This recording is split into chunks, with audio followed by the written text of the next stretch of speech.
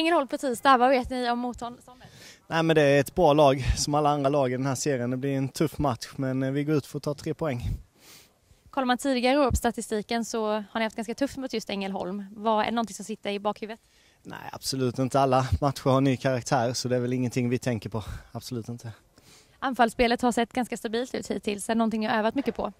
Ja, men det är klart vi övar väl på, på det mesta och eh, försöker sätta defensiven först och eh, nu har vi ju fått igång offensiven också så det känns bra.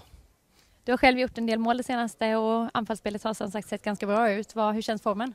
Nej men formen känns väl bra. Det känns som eh, eh jag åker mer och mer i matcherna och nej, det känns bra.